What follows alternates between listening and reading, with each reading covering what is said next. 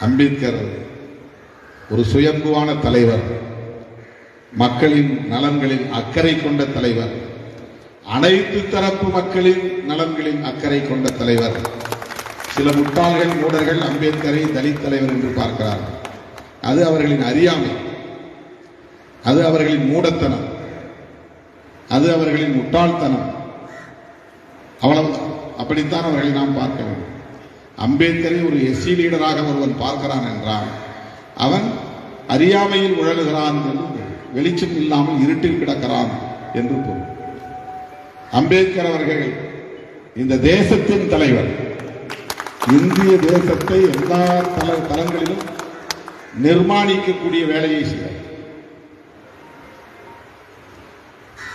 ஒருவர் ஸ்ட்ரக்சரல் இன்ஜினியராக இருப்பார் ஒருவர் மெக்கானிக்கல் இன்ஜினியராக இருப்பார் ஒருவர் சிவில் இன்ஜினியராக இருப்பார்.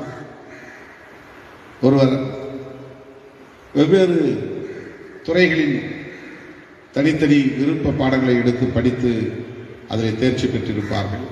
ஆனால் எல்லாவற்றையும் சேர்த்து ஒருவர் வேலை செய்தார் என்றால் அத்தனை தளங்களுக்கும் அத்தனை துறைகளுக்கும் ஒரு ஆர்கிடெக்சராக இருந்தவர் ஆர்கிடெக்ட் என்று ஆங்கிலத்திலே சொல்லுகிற அந்த பொறுப்பை எடுத்துக்கொண்டு செய்தவர் புரட்சியாளர் அம்பேத்கர் அவர்கள். நாற்பத்தி நாலு சட்டங்கள் இருந்தன தொழிலாளர் சட்டங்கள். இதுவரையில் அவர் காலத்தில் உருவாக்கியது அதற்கு பிறகு உருவாக்கியது அடுத்தடுத்து உருவாக்கியது. அதையெல்லாம் இப்போது வந்திருக்கிற அரசு தூக்கி போட்டுவிட்டு நாலே நாலு சட்டங்களாக தொகுத்து தொழிலாளர்களுடைய உரிமைகளை எல்லாம் பறிக்கக்கூடிய வகையில் நிறைவேற்றியிருக்கிறது. வேளாண் சட்டங்களுக்கு எதிராக இந்திய மண்ணில் அவ்வளவு பெரிய போராட்டம் வெடித்தது.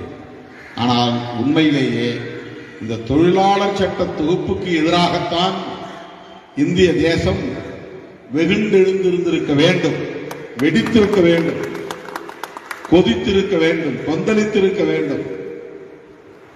தொழிலாளர் மத்தியிலே அந்த விழிப்புணர்வு இல்லை. அரசு